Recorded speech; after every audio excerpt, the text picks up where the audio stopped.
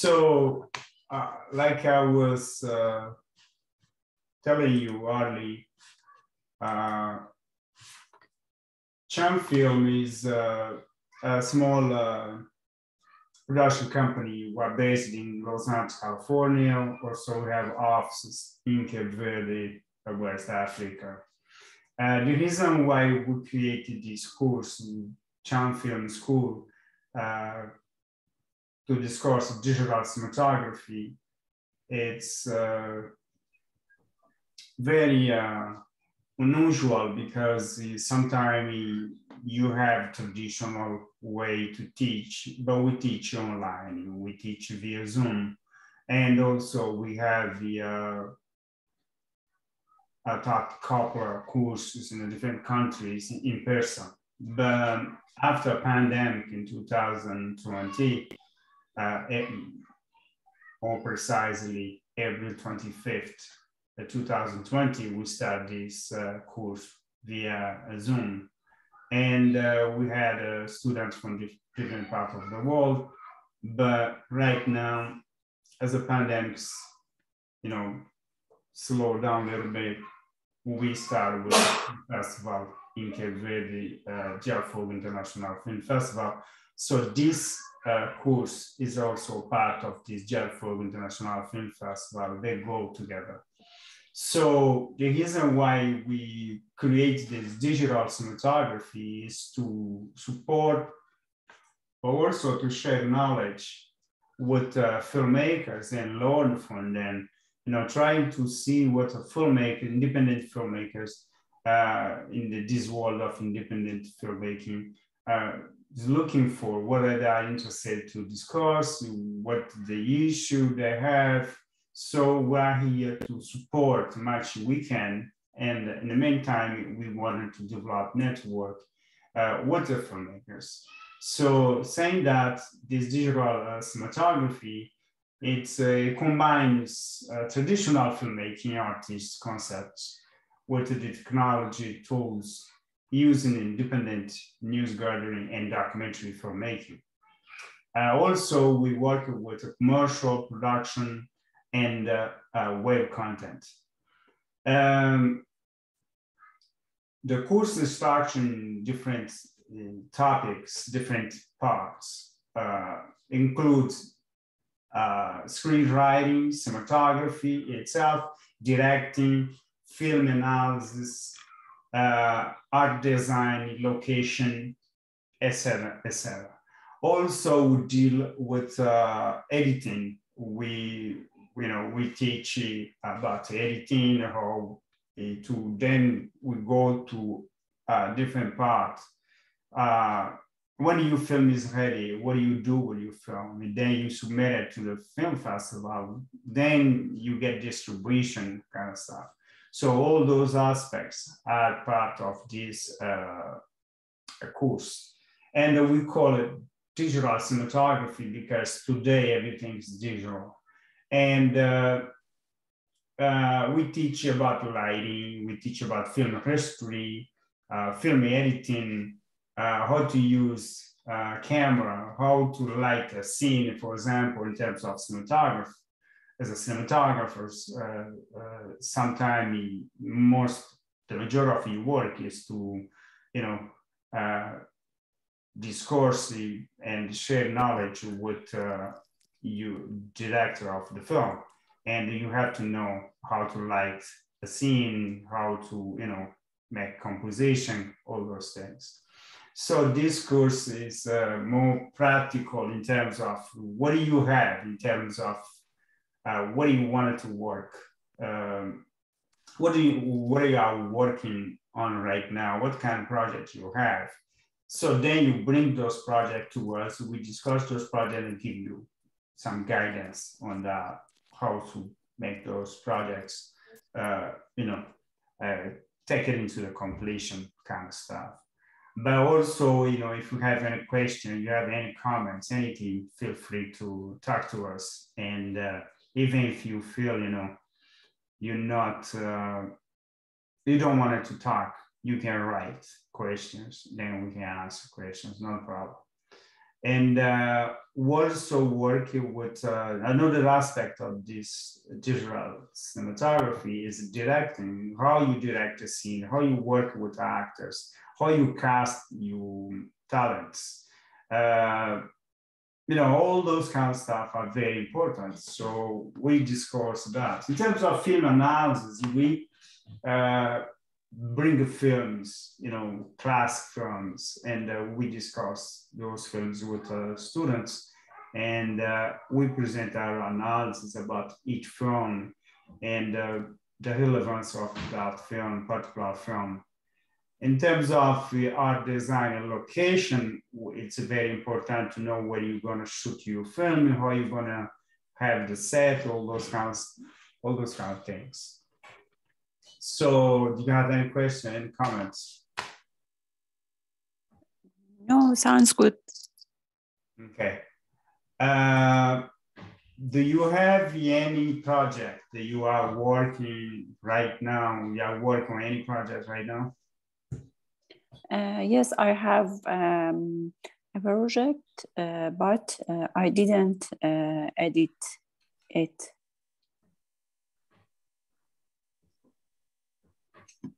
So, okay, so if you have a trailer, if you have anything you want to share with us, that's a good way, that's the best way, for example, to, um, to give you some um, tips to give you some um, guidance uh, how to approach those issues and how to solve those issues.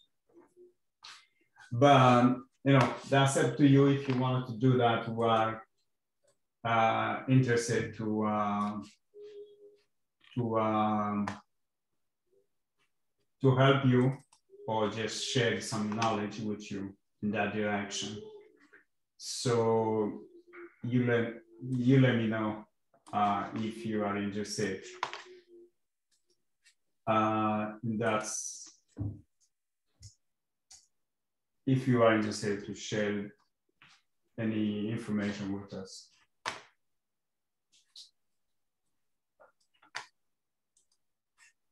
You have a question? Um, no, uh, my uh, trailer um, of uh, the film Child Free uh, is that um, uh, okay? Okay, no problem, no problem. You you are free, you know, whatever you want to do, it's cool with us. Um, so, is there any particular subject uh, do you wanted to discuss today? Mm, I hear your voice badly. Okay, let's, uh, we have an hour and a half. Usually this class is one hour. And uh, we can take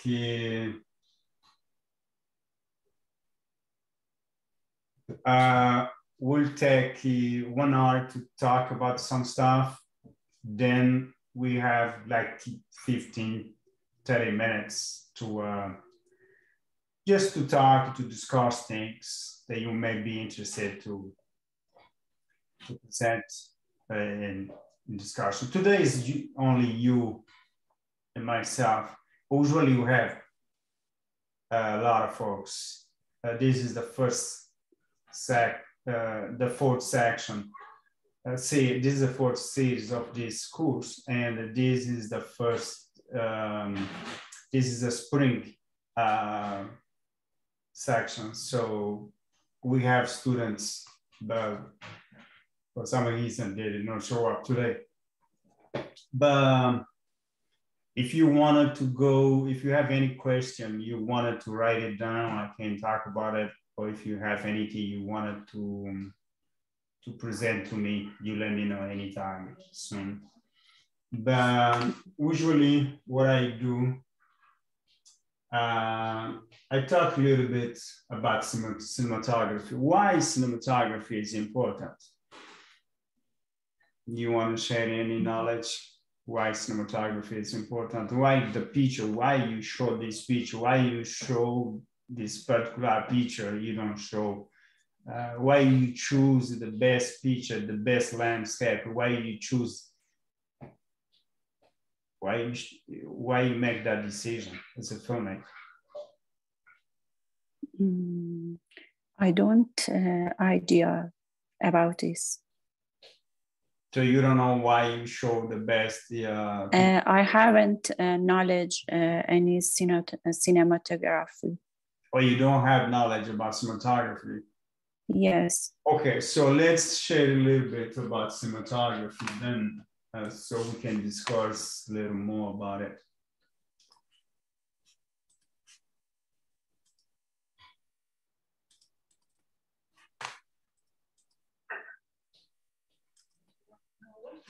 Okay, so.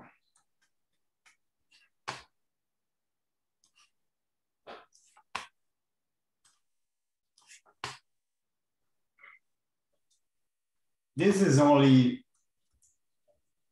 you can find this information online, maybe better than this. Um, cinematography is art, like anything else. Uh, you may be very familiar with uh, painting. Uh, you may be very familiar with uh, photography, with picture. So cinematography as a, as a concept is the art and technology of motion picture photography. Uh, why is important? It's important because you need to show visual when you tell a story uh, you work with the visuals.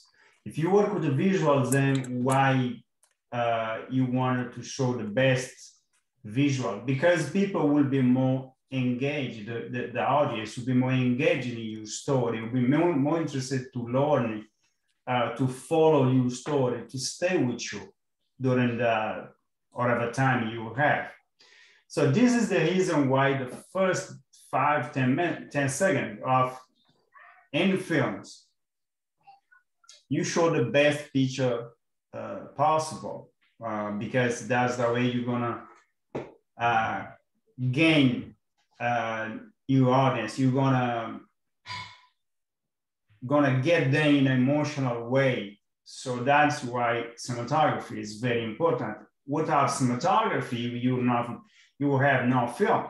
So you have to have a picture, and the picture must be very good. Uh, so to create a picture, to film a, a, a, picture, for example, to, to record a picture or to take a picture, you need a camera, right? So yes. if you need a camera, then you have to, to learn about techniques. And uh, one of the best techniques uh, in, in terms of cinematography uh, then you have to learn is lighting, how to light uh, a scene, uh, how to create a composition of a scene. Uh, how can you make those things uh, in terms of location, uh, camera choice, what camera you wanted to use, Canon, uh, Alex, uh, Red, uh, whatever you have, Sony, there's many cameras these days, a thousand of them. So do you have to make your decision? That's your decision as a filmmaker or cinematographer, uh, then to make that decision with you as a director of the film. Then you have to choose a lens, what kind of lens you're gonna need. You're gonna need wide lens to show the landscape.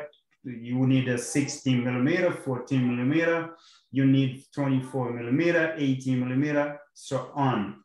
So if you shoot a landscape, then you wanted to go like 16 because you wanted to show large space. So if you wanted to show very tiny space, then you go like 85, you go 135, you go 300 kind of stuff.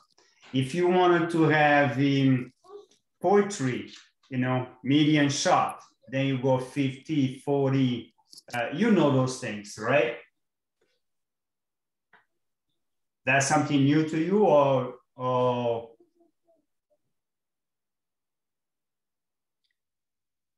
Over. Uh, this is something new to you. A lens is new. Is it something new? Um, no, uh, I um, I know it. Um, I I said that uh, mise en scène. Okay okay, you you talk different language, but it's still the same. Yes. Just the Uh, way you yes. say it. It's okay. Um, So in terms of lens, and then you talk about filters. Why you do you need a filter? So in the bright day on the desert kind of stuff. So use a filter to you know to to work you know to exposure uh, to give you the best exposure possible that you need. And uh, either you go digital or you go with the film stock, it's still same concept, same thing. Film is a little different than digital, but still same thing. Then you have to deal with the camera angle, right? With a low angle, right angle. Then you deal with the camera movements. You have the pan, you have pushing, you have zoom. Zoom is different type of movement, but you have dollying in, you have dollying out. So you know that's very important to integration uh, in terms of integration of any special effects that you wanted to create on the scene. Uh, an example of cinematography for many uh, masters, uh, cinematographers and filmmakers, they say lighting, camera filters and lens uh, are part of how you should, you should uh, a scene, how you combine those things? How do you combine those things to create uh, a scene? So I think uh, better than uh, talk, uh, let's watch. Let's watch this video.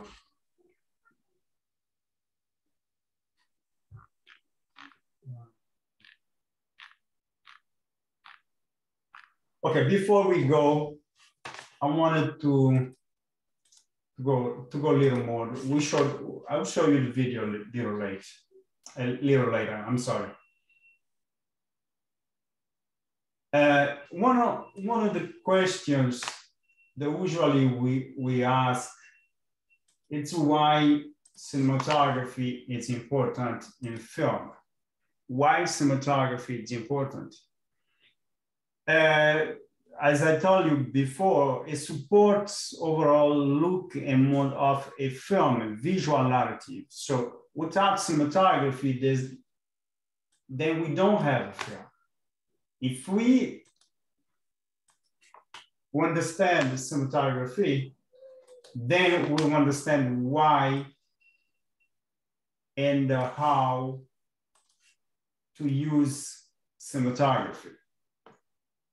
Each visual element that appears on screen, the mise en scene, like you call it, of a film can serve and enhance, enhance the story. Well, in other words, it helps you to tell the story. Cinematographer has responsibility to ensure that every element is cohesive and supports the story. So you don't want to just show uh, a visual. You wanted to show visual that supports your story. It doesn't make any sense to just show things just because you wanted to show it, just because it's look good. Now it's look good, but it has to support the story. It has to advance your story. Cinematography does that. So you have to understand in terms of cinematography,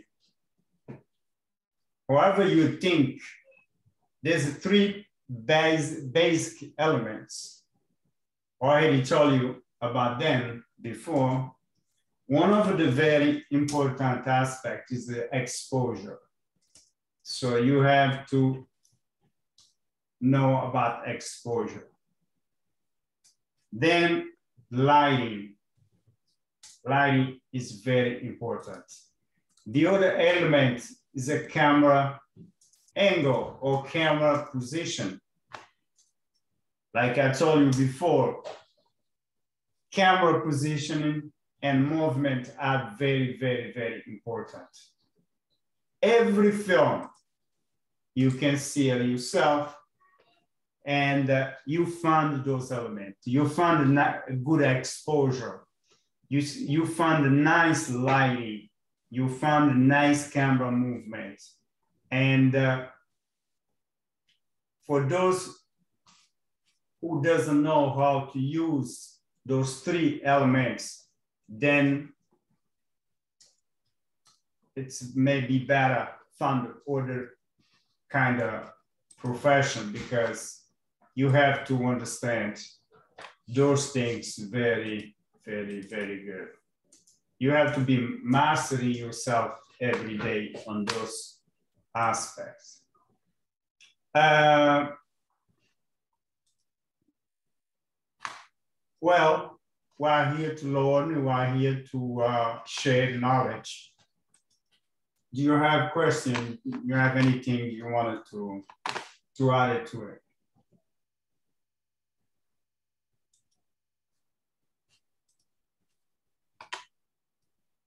Feel free to share any information or any comments. Mm -hmm. uh, please repeat. Hmm? Repeat it again. You want me to repeat? Uh, said, repeat your your question. I said, tell me, uh, ask any question or any comments you may have. Uh, okay. Um, I can um, this uh, knowledge um, uh, after the class. Okay. No problem. You can send your question next after the class. Then we can work on that next uh, next section. Okay. Okay. Uh, excuse me um, I uh, my uh, phone is uh, finishing charge, -huh. but I um, I don't have a, a, sound. Okay, no problem. You want to continue or you want to stop here? We can continue next Saturday. okay. Um, I like to continue. Want but, to continue? Um, yes, but my headphone is unable. Okay, no problem. Okay, you can, we can continue, no problem. Okay, let me, let me. I don't uh, have your uh, voice. I still can hear uh. Because my, my iPhone is charging. Okay, okay. Um, okay, then the next, the next aspect of the filmmaking, uh, cinematography, what I wanted to share with you right now is the concept of five C's. Do you know what's five C's? So five C's, uh. five C's, uh, it's a very important concept in cinematography. It's, a, it's one of the most important aspects of cinematography to me. Uh, why because if you know the five concepts of the concept of five C's, then you understand the very basic of filmmaking. One, one of the aspects of five C's is the camera angles. We already touched that a little bit. There is a continuity. Why continuity? You need a continuity in a scene. Why do you need to know about continuity. You need to know if you face this way, if you face this side, in the next scene, you can face this scene, this side. You can face this way. Still, you have continuity. You show this face, then you show another face.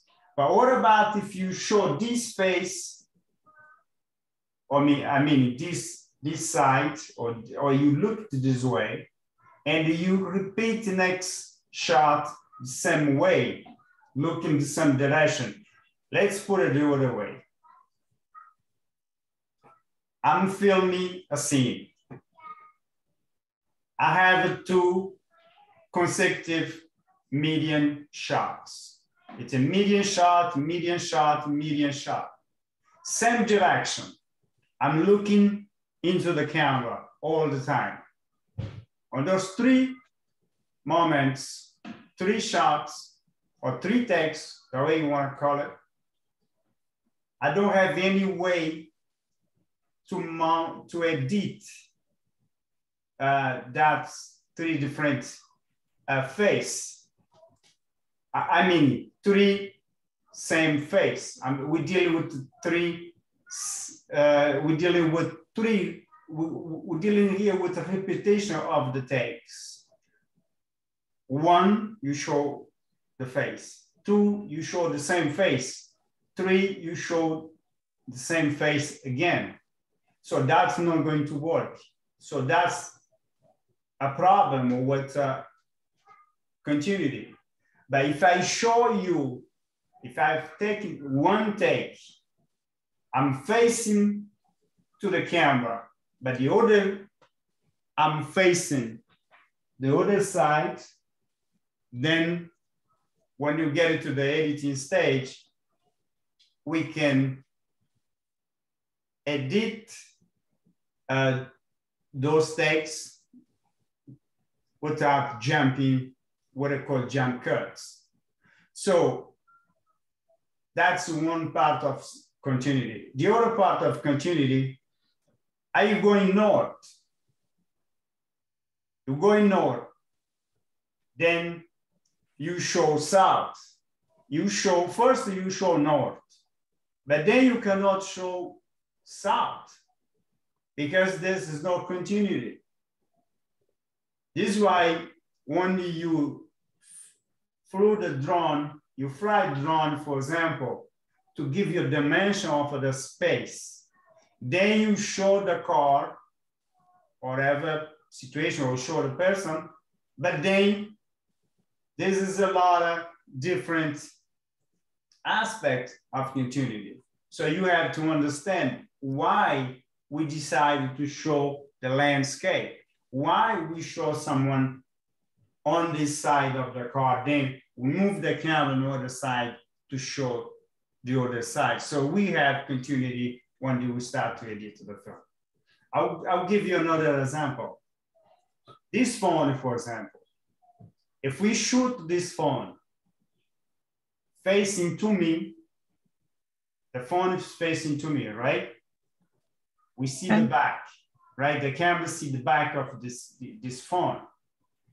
So if I do another take, if I take another take in the same space, same with same uh, lens, with the same uh, camera focal distance, everything is the same, it's gonna have jump cut. So we don't wanna do that. So that's why we discourse uh, continuity in the five C's. The uh, another element of five C's is the cutting, or, or I already told you that about editing. Cutting is me editing something. Then we discuss about close-ups. Close-ups are very important to show details, to show uh, insight uh, for example, hands. Uh, you show the face, right? You can show the face, but then you show the hands. You see, if you are doing this in a scene, you show my face, then you show my hands, then you see how those things works, how those things are important in a cinematography. So close up are very important because it shows details. It shows the things that we cannot see. So we can see it in close up. Then the other C is a composition. How are you gonna work with the rule of third? Uh, so how are you gonna frame each scene?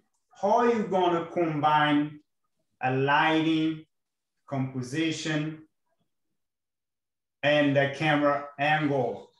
So all those elements are very, very, very important. Uh, this is a very nice book. I will send it to you later. I will send you notes on that, this book. Uh, that you may be interested to, to learn a little more about it. Any question and comments?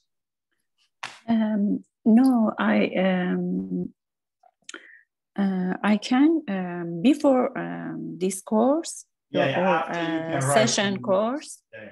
Yeah, uh, yes, uh, I have a um, text uh, you uh, teaching it.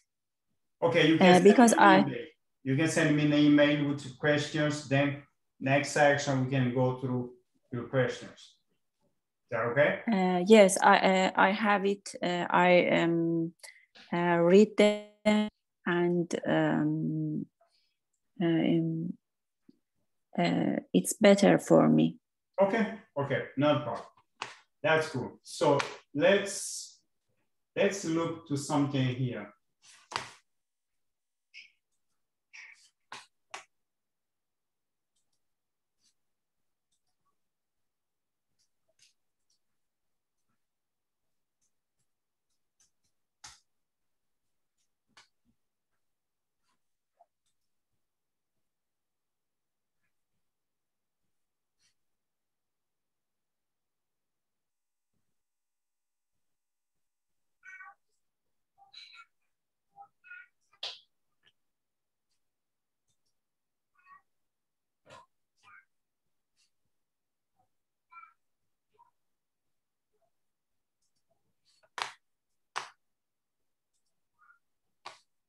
Okay, I'm gonna show this with you.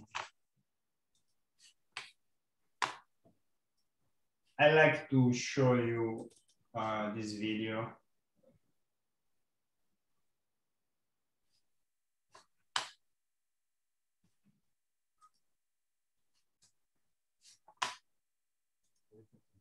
Things that fall for every project fall under the category of what responsibilities are, but I think it also changes based on the project. Um, so, the question, the question here is, uh, what is the job of cinematographer? What he does or she does? Uh, we have a lot of female, you know, uh, amazing and uh, very talented uh, cinematographers. Uh, so the question here is, is what is the job of a cinematographer? So let's hear what. Obviously, some kind of things that fall for every project fall under the category of what your responsibilities are, but I think it also changes based on the project.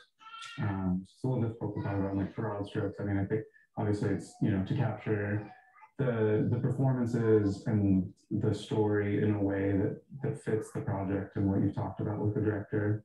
Um, I think it's about but it's also about making sure that you complete all of that. I mean, it doesn't matter, you know, how good a shot looks or how much it fits if you don't have all the other shots to complement it and tell the story. So it's also about kind of managing time and giving the director as much time with the actors as they can get um, so that they can either, you know, get as many takes as they want or have as much rehearsal time as they want.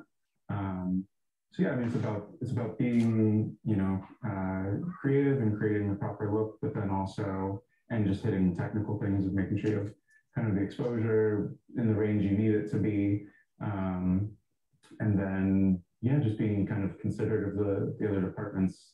I think that's the main thing that people kind of forget when they're when they're first starting is that it's you know it's not uh, an individual thing where it's like oh well my my side of the crew hit what they needed to hit good we're you know we're done we're set it's about making sure that everybody is you know hitting the same thing at the same time um, yeah, so it's about doing that. It's about delivering, you know, all of that so that the director and the actors and everyone and producers can can get what they want out of the story and have, you know, as much time and as much uh, end material for editing.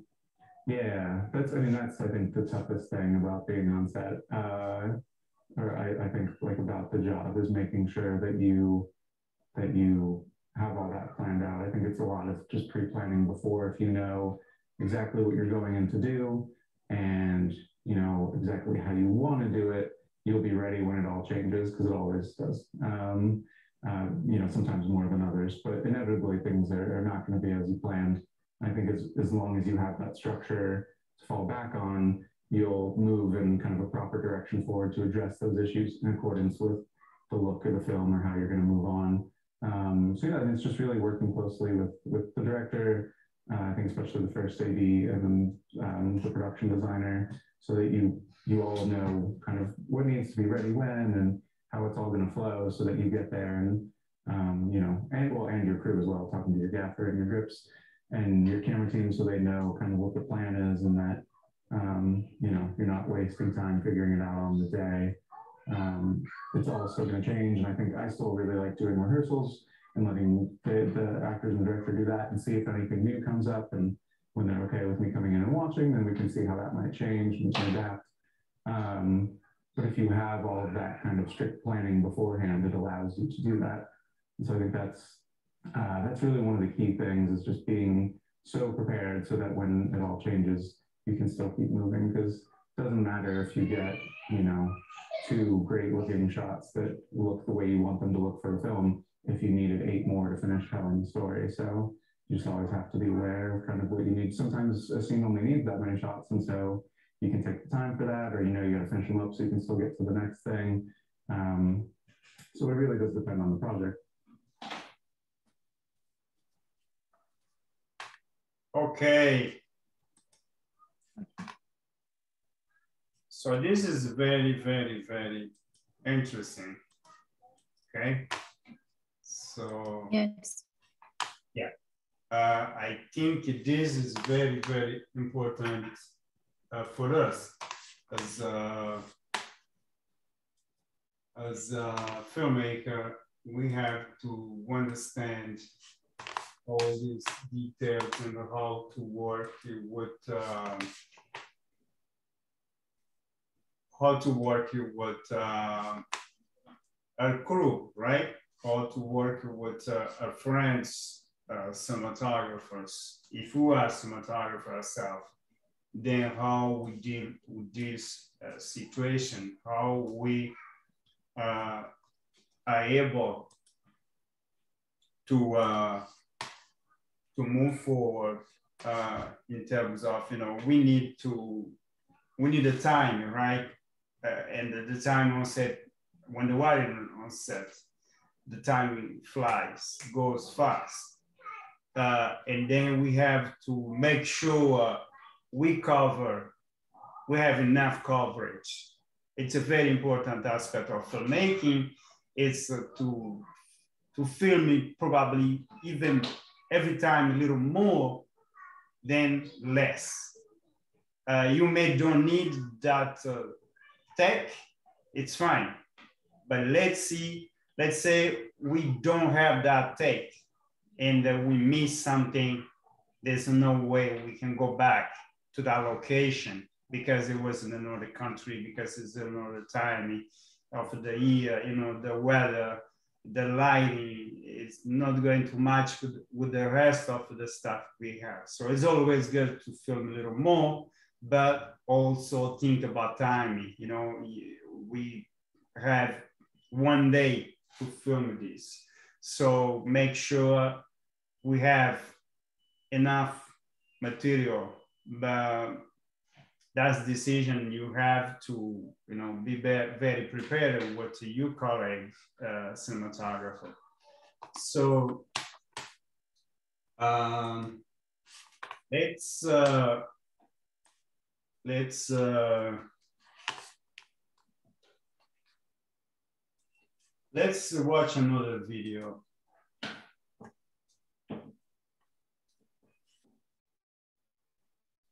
Uh,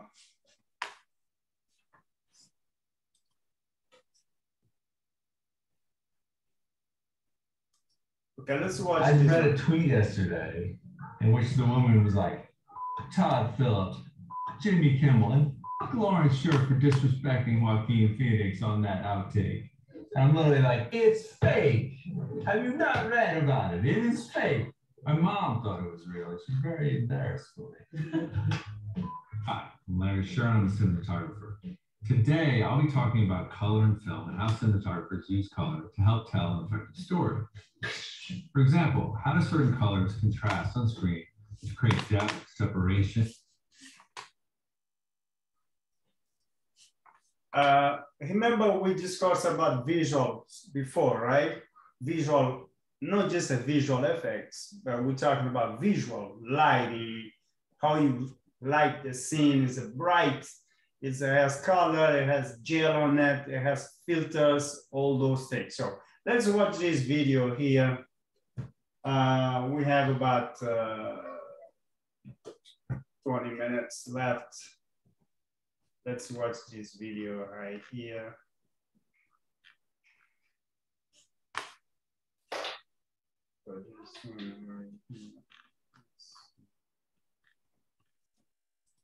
And, mood.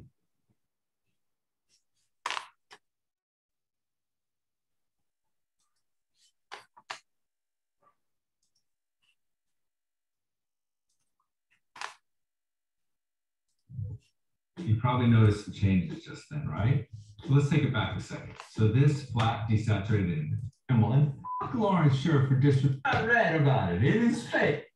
Today, I'll be talking about color and film and how cinematographers use color to help tell an effective story. For example, how do certain colors contrast on screen to create depth, separation, and movement? You probably noticed the changes just then, right? So let's take it back a second. So this flat desaturated image is a result of us shooting on a digital camera in something called log. This camera shoots at S log 3. You can basically think of it as a raw digital negative before the color grading is happening. Shooting in log lets us retain a wide range of colors recorded by the sensor, which an editor or colorist in post-production can grade any way they want. Much different, huh? We added blue variants, dimmed up the orange to complement the blues. I know it's all technical, trust me. You don't have to think of it as technical stuff. I was an economics major. I don't know any of this stuff. Color in films comprise three main elements, the color or hue itself, the saturation or intensity of that, and the brightness, sometimes referred to as value or tone. Saturation is probably the most subjective part of modern filmmaking. Values of color refer to shades or brightness levels. One way to create depth in an image is to use complementary colors or colors opposite each other on the color wheel. Blues go with oranges, reds with greens, yellows with purples, and so on. You can play around to create different color schemes. So, how does the cinematographer choose what colors to use in a movie? It's hard to talk about color in motion picture photography without thinking of the legendary cinematographer Vittorio Storaro. Seriously, after this is over, go watch The Conformist, Last Emperor, Apocalypse Now. He uses color as imaginatively as anybody in film history. He actually had a whole color theory and would assign colors to different moods in the movie, the emotions, the characters. We all have associations with color, memories, how we think about color. It's subjective. For example, green is a color in nature. May evoke tension or envy or greed, or it may represent power of transition for a character. Whereas warm yellows and oranges may evoke emotion like comfort and home, love,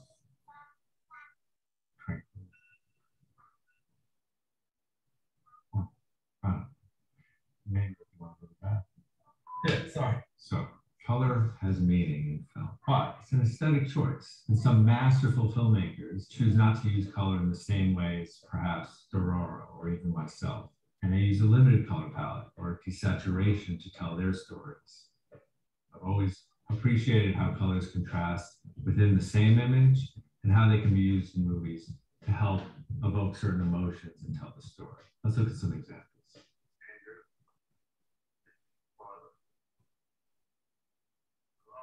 In Garden State, the movie opens with him literally in a colorless world. He lives in a tiny apartment with all white walls and white furniture. We're trying to limit the color space because his life is a bit colorless at this stage in the movie.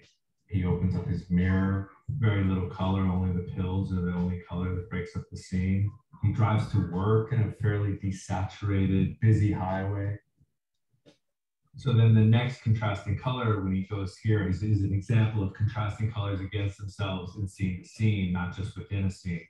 If you are willing to embrace color as a director, like Zach is, you're going to look for opportunities to show color from scene to scene or certainly within the scenes.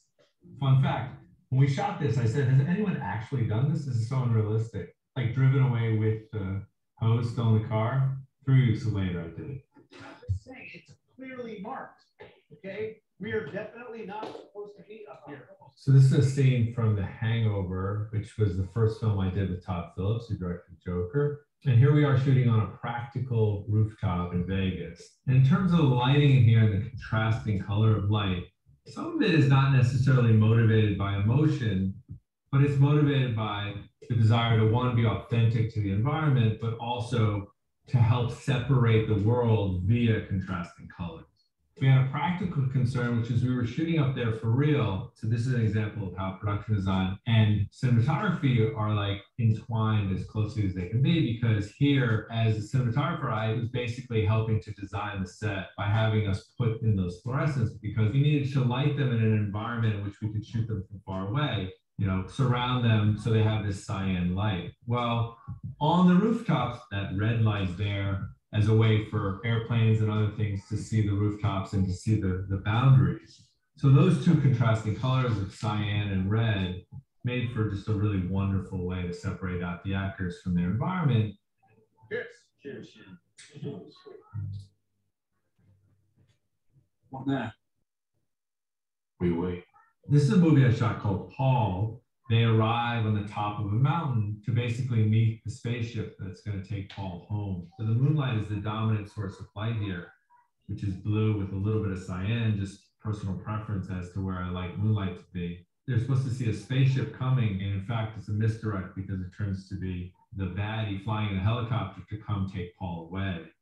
I've always been really happy with the way this turned out, in part because we decided to put these moving lights on the end of a helicopter when we talk about color, and if we're talking about here, the color contrast, I love the way that yellow, and that yellow is not a yellow you see really naturally, mixes with the moonlight in this scene. That, that light that came through the trees could have been anything. If we had kept it blue or white light, I just think it doesn't have the same power and the same striking imagery that I was looking for. Another aspect of color in film is color temperature. It has to do with how the color white light looks like on camera in a given temperature. They're measured in Kelvin. You often hear about indoor temperatures like 3200 Kelvin and outdoor temperatures like sunlight 5500 Kelvin. Lower temperatures are considered warmer and can give an orangish tint to a white object on camera. Higher temperatures are considered cooler and provide a bluish look. So for example, at 3200 Kelvin, if you introduce something at 2000 degrees Kelvin, it would be very warm and orange, like firelight.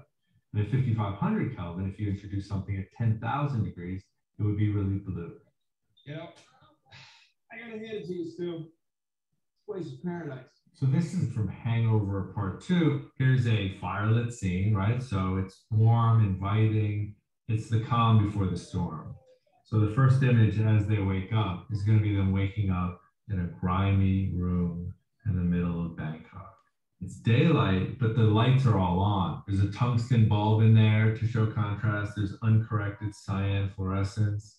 The warm light that's coming in there now is representing heat, right? Because they're sweaty and hot. One of the things that we talked about when we talked about color temperature is the way it shows up in the form of like cool white or warm white. But the other thing that really plays into lighting that we see in our natural world is the green spike, or some lights may be very magenta, but often with fluorescence, they have a very high green spike. So it means in relation to the 3200 film stock, when it shoots an uncorrected fluorescent, as I say, it's also showing up with all that green spike in the form of green. So you mix that cool color temperature with the green and you get cyan. And that's that cyan that we saw in the room when they first woke up. Black and white, you can really see how depth is created with shadows and contrast and tone. The ultimate contrast being the silhouette. Obviously, that's one extreme, but there are different values of exposure we can use to varying effects. Famous still photographer Ansel Adams made famous the zone system, which was a way to think about exposure and tonality in a film image. The lowest value, zero, being totally black, and the highest value, 10, being white with very little information at all. So you can think about an image and think of all the tonalities between there in 10 steps of exposure. It's a good way to think about the depth you can create through shadow, light, darkness. But another way to create that depth, in a way I really appreciate, is through color. Two things can be the exact same tonal range, but if they're different colors, they create depth within the same frame.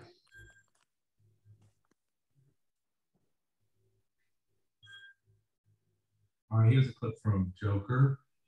He's suffering from severe insomnia at this point in the movie. He's going through this real crisis, you know, because Joker, in large part, is a movie about opposite ends of the spectrum, two sides of yourself, the shadow and the light. And so those contrasting colors is a lot like what's going on internally with Arthur. And that color difference makes a huge impact on the scene. If we drain the color out of this, you can really see what we're talking about when we're saying values and tonality of light. But suddenly, if we bring all the color back in, we're now creating separation with the color. The dramatic difference between the sodium vapor in the background and the uncorrected fluorescent cyan blue.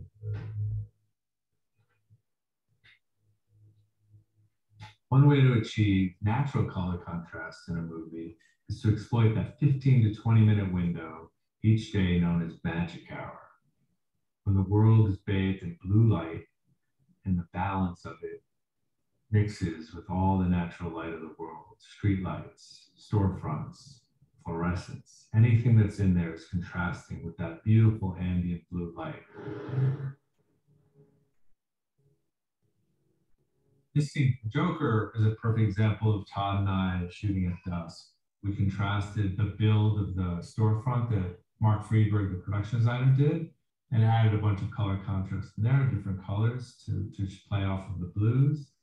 You can get some real beautiful stuff. If you're willing to shoot in this tiny window and if everyone is hyper focused, funny thing happened though in Joker on another shoot at dusk, for some reason, right as we began to shoot, right after the second take, they just started handing out tacos to the group uh, I went a little crazy because I went, wait a second, we had 20 minutes to shoot this scene. Can we just wait on the tacos? One of the fun things about Joker was creating Gotham in the 70s and early 80s. And for me, a large part of that was representing what the cities looked like back then. Well, a big part of the cities back then were the streetlights, and the streetlights were sodium vapor you don't see sodium vapor as much anymore, and they're really going away. That green, orange, gross light. That's what we saw back then. That's how the city represented itself on film, but also in our memories. A little bit gross, but for me, quite beautiful. It's an example of the blue light that bathes the city at this time of day, and then us adding these warmer sodium vapor lights in those positions of the building. We turn some lights on inside the building. In the interest of the reality of the space and the world in which we live, we're now adding another color, this sort of warm white, uncorrected fluorescent, the yellow warm to his lobby. And then when he gets into his home, that's the first time we're introduced to some warm, comforting tungsten light. It's lamps, it's warm, it's inviting, um, and it's probably the warmest, most gentle uh, light that's in the whole movie.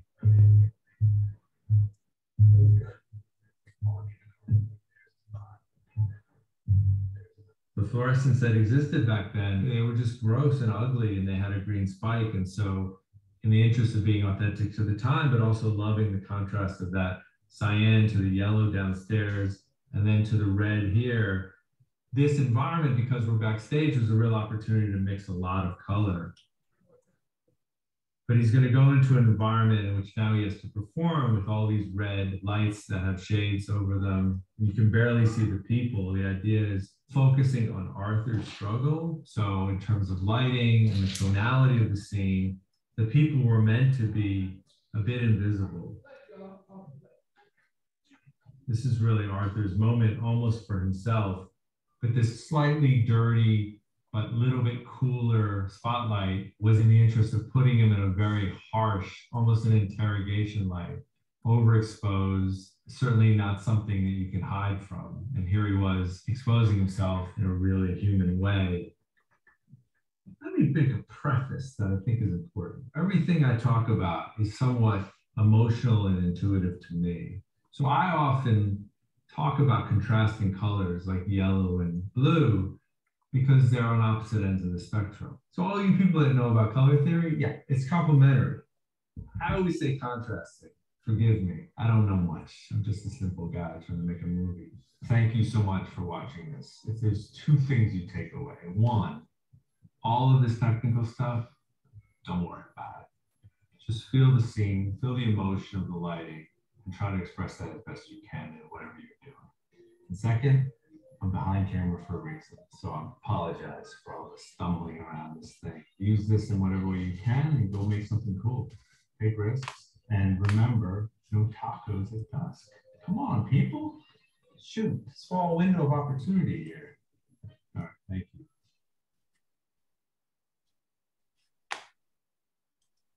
Okay, okay, Sarah, what's up? Okay. Uh, that's great. Uh, and uh, the video and content uh, is excellent. Yeah. Uh, but I um, uh, because I um, uh, my language, my English language is weak. Uh, I have less understanding of the content. Okay. Uh, but uh, the course is um, very good. Okay, thank you. Uh, no worries about that. You know, your English is very good. Mine is not better than yours. So no worries about that. So um, what are he trying to say? Excuse me. What he was trying to explain is the value, the importance of color in the film. How we we work as a cinematographer, how we make things visually to look uh, very good, but also to feel the emotion that we wanted to bring in each character. In this case, he shows different example of the film he worked in. Uh, how those colors, how the combination of colors was used in a sense to create a meaning uh, in a visual storytelling. So storytelling. So this is very, very important as a cinematographer. Even if we don't have any knowledge about cinematography, about cinematography, I'm sorry, about cinematography, but then what's gonna happen, you have to understand the color. You wanted to, as a director, you need to know uh, what you wanted to show, how are you gonna present the imagery to the audience, how are we gonna affect your audience. So the technical things like the, the cinematographer said, don't worry about, about technical stuff, but understand the emotion, how to present that type of lighting to affect directly in terms of emotion, how this guy get into the refrigerator and how that light show his darkness, his life is going to, is going very dark time for him. It was a very dark time. Then how we show uh, the same artist in front of an artist, how that light or combination of lighting, if you will, how the lighting gonna affect us as an audience to see that same person was going dark before. Right now, he hasn't, he has to be in a space where he has to sing, he has to present to the audience. He's going to be different than before. How we work with the lighting, the scene, how we light, how we, let me reframe the, the question, how we light that scene to make sense and add another layer to the story. That's the question. Every time we do something in terms of filmmaking, every time we do something in terms of storytelling, we have to advance something. If we if we're not advancing, then we stay in the same space, we stay in, in the same comfort zone, then the story uh, is not going to have that emotion uh, that character needs to make us an audience believe what he's facing in this case uh, is true. So remember, even is a fictional story, but storytelling has to reveal the truth. Even it's a documentary or is a fictional story. We have to trust, we have to embrace that character life. So we can understand, we can get into the emotion, then we understand and we absorb the story. Ultimately, we sympathize with a character or we don't sympathize with a character. So either way, it must be something that you believe as a filmmaker, but also you wanted to pass through that information to your audience. If the audience is not going to believe it, then it doesn't make any sense. Then your film is going to fail. It's not going to go anywhere.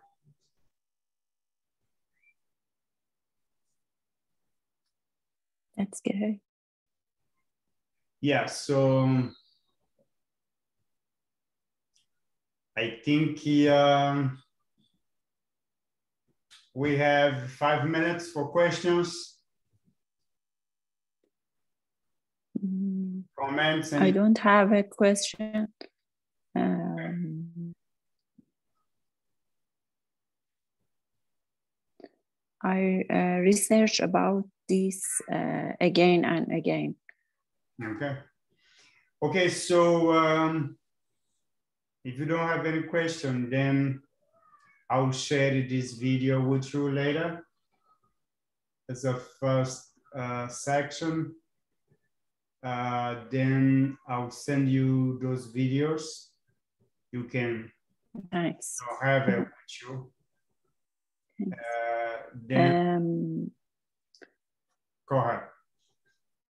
uh, if um, no, um, and all um, all of them uh, material of um, um, two se- uh, two session um, two session Mhm.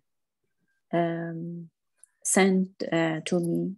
Okay, okay, I'll do that. I'll send those videos and uh, I'll send the, the recording of the section uh, today's uh, first class. Then we can talk a little more about cinematography, lighting.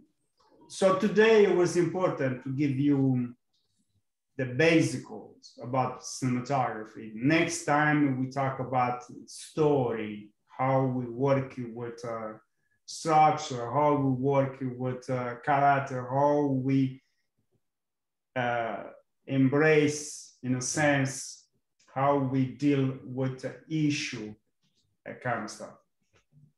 Okay? Okay, I'll let you go. You have good rest of your day. Uh, we talk again in about a week or so. Okay. Okay?